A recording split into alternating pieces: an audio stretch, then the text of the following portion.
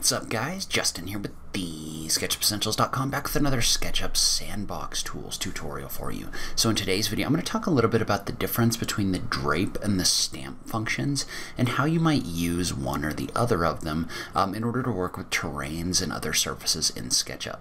So before I get started we're in the middle of the SketchUp Essentials course fall sale right now. Basically what that means is that means that the month-to-month -month access to the course is now on sale for 30% off. Meaning if you have been interested in getting in that course um, and learning how to use SketchUp in a step-by-step -step environment where I'm there to answer any questions that you have. Um, this is a great time to jump into the course. So um, again, that is on sale for 30% off. That's going to get you full access to all of the instruction in the course. It's going to get you the community forum. It's going to give you access to the live calls, um, everything that comes along with the course. So if that's something you're interested in, you can check that out at the sketchupessentials.com slash fall sale 2021.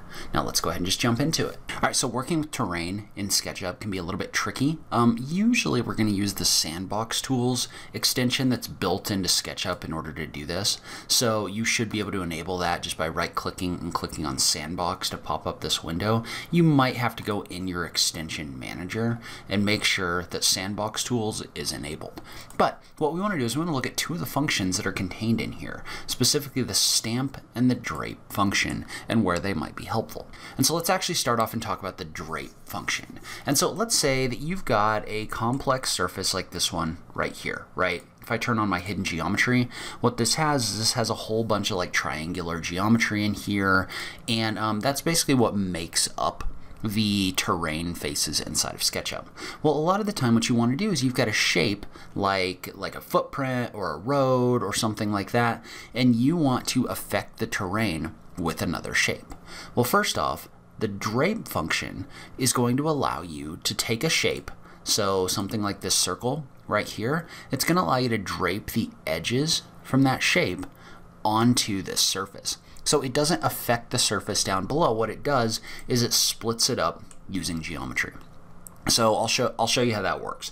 So what, what you're going to do in this situation is we want to drape this shape onto this terrain. So we're going to select this face right here, or this shape, then we're going to select the option for drape. Well, notice how when you select the option for drape, this is going to tell us to select the mesh on which you wish to drape. So what do you want to drape this on? right?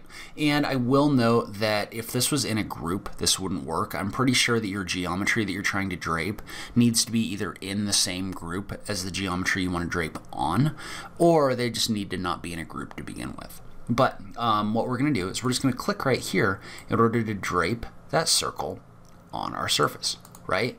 And so if we look at this, notice what that did is that took the edges of the circle and it dropped them down and intersected them with the surface down below. Well, what that means is that means that now this is split. And so why would that be helpful? So this would be helpful, A, if you want to create a surface in here that you can apply a different material to. So if you've got a circle that you want to apply a material to, um, actually like intersecting geometry with this or trying to draw it out on the face would be really difficult. But when we drape this on here, it's really easy. Like let's say, for example, I wanted to apply the grass dark green material to this shape. Well, because this has split this off into its own face, we can now do that. And so maybe a more useful time that we might use this is might be something like a road, where we're trying to like indicate a road moving through a canyon or something like that. And so the way that would work in this situation is we could click on this right here, we could click on the drape function, and then we could click on the surface down below. Well, notice what that did is that came in here, and that just draped this on the surface right here. So now this is split out. So let's say that we had like a vegetation blur applied over here. Well, then we could come in here and we could apply like an asphalt material to this right here. So it's really good for like indicating where roads and other things might go. Um, we'll come back to this in a second. But now, what I want to talk about is I want to talk about the stamp function because the drape function doesn't affect our terrain in any way, right? Other than splitting up the faces. Like the, the actual topology of the terrain is unchanged right now. But if you want to, like for example, let's say we wanted to put like a house footprint into this hill right here. You don't want to use the drape function because that's just going to put something on the face that you can't actually affect, right? I can't push pull it or anything like that because it's a curved or smooth surface. But the stamp function is going to allow me to take a shape and stamp it into a shape So let's say, for example, that we wanted to create a building footprint in this hill. Well, what we could do is we could activate this tool, the stamp tool, and it's going to ask you to select the face that you want to stamp into a surface. So I want to stamp this into the surface, so I'm going to click on it, and then it's going to ask which mesh you want to stamp into. Well, in this case, we want to select this one right here. Um, for more complex meshes, by the way, you might want to save your model before you do this. But we're just going to click again. Well, notice how what that does is that takes our surface and it stamps it down into the terrain. So when it stamps it down into the terrain, what that means is that means that now we can adjust the height right here. And notice what it's doing is it's basically taking our footprint and making it flat then it's using an outline a certain degree outside of our shape and it's just creating a slope from this surface to this surface right here. So notice how what this does is gives us these really um, these really pronounced walls that go into this face right here. And so another thing that you can do with this, and I'm going to go ahead and undo that right there. Another thing you can do with this is if you select this and activate the stamp tool, notice how this gives you an option to type in a new offset. So if you remember, the offset before between the mesh and our flat surface was only about a foot right? So basically it's going to be this transition distance between the red line and the line right here. Well, you can type in a new value, so maybe like 5 foot and hit the enter key. And this line doesn't update dynamically. And so a lot of the time what we need to do in order to get that to show up is just click off of this and restart the tool. But if I click on this tool now and click on this face, notice how this red line is further away from the perimeter right here. Well now, if I was to click on this surface, notice how the slope to the top of this is a lot wider, right? So instead of it being like straight up, if we look right here, for example, you've got a much wider slope going around the outside of this. And so you can make that as big as you want. So if you want that to be more gentle, you could type in maybe like a 15 foot, which may be a little big based on this mesh, but that's okay. Um, so we'll go ahead and click in here. Well, notice how that gives me an even wider offset. Well now, if I click, notice how this is going to slope a lot more.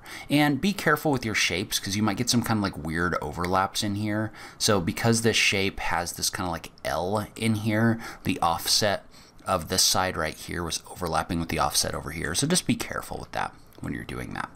But so in general, um, what you're going to do is if you want to split a face, and mark it up with materials or something like that, you want to use the drape tool. If you want to if you want to actually adjust your mesh so that something follows along with it, then you're going to use the stamp tool. Now, notice how we could use the stamp tool for something like this road, right? So if I was to move this road over, and we'll go ahead and put it right here, we could definitely come in here and use the stamp tool in order to stamp this down. So I'm going to bring my offset back down to like three feet or something like that. But um, we could use the stamp tool in order to stamp this down in order to actually affect our terrain like this. So notice how I can use this in order to kind of cut this road in. Now do be aware that um, it is very uniform, right? So you can't really like make your road follow along the terrain. Like notice how this is completely flat. So what this is doing is this is bringing this up over here and down over here to kind of cut this through the hill. And so just note that you could use this to come in here and create something like this, but you are going to have to do some kind of like geometric adjustment in order to fully get it to do what you want. But it's still very useful for stamping things into terrain inside of SketchUp. All right, so I will link to some other tutorials about sandbox tools on this page. If you were interested in going more in depth and learning SketchUp, the course is on sale through tomorrow night at 11.59 p.m., so I will link to that in the notes down below as well. As always, thank you so much for taking the time to watch this. I really appreciate it, and I will catch you in the next video. Thanks, guys.